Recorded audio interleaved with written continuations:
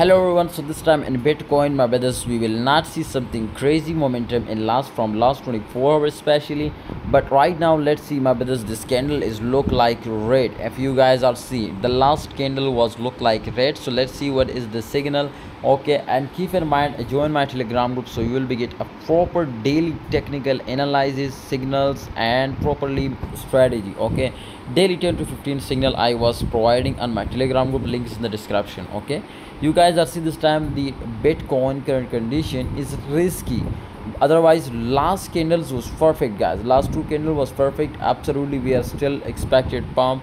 But this here is retesting possible. This candle if red maybe they are retest as i told you maybe they are completely following my technical analysis.